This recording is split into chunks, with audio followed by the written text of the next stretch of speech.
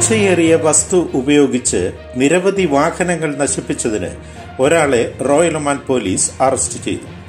മൂർച്ചയേറിയ വസ്തു ഉപയോഗിച്ച് നിരവധി വാഹനങ്ങൾ നശിപ്പിച്ചതായും നിരവധി പേരെ ദ്രോഹിക്കാൻ ശ്രമിച്ചെന്നാരോപിച്ച് Al Dakhiliyah governorate police command ഒരാളെ അറസ്റ്റ് ചെയ്തതായി ആർ ഒ പി ഓൺലൈനിൽ പുറത്തിറക്കിയ പ്രസ്താവനയിൽ പറയുന്നു.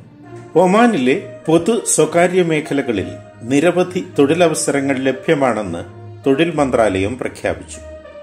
പൊതു സ്വകാര്യ മേഖലകളിൽ നിരവധി തൊഴിലവസരങ്ങൾ മന്ത്രാലയത്തിന്റെ വെബ്സൈറ്റായ M O L dot G O V dot O M വഴി ലഭ്യമാക്കുമെന്ന് തൊഴിൽ മന്ത്രാലയം ഓൺലൈനിൽ പുറത്തിറക്കിയ പ്രസ്താവനയിൽ പറയുന്നു.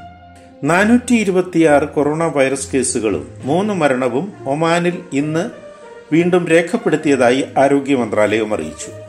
സുഖം പ്രാപിച്ച ഒരു ലക്ഷത്തി മുപ്പത്തി അയ്യായിരത്തി ഇരുന്നൂറ്റി ഇരുപത്തിയേഴ് കേസുകളും ആയിരത്തി അറുന്നൂറ് മരണങ്ങളും ഉൾപ്പെടെ രാജ്യത്താകെ ഇപ്പോൾ ഒരു ലക്ഷത്തി നാൽപ്പത്തി അയ്യായിരത്തി ഇരുന്നൂറ്റി അൻപത്തിയേഴ് കേസുകളായി വർദ്ധിച്ചിട്ടുണ്ടെന്നും മന്ത്രാലയത്തിന്റെ പ്രസ്താവനയിൽ പറയുന്നു.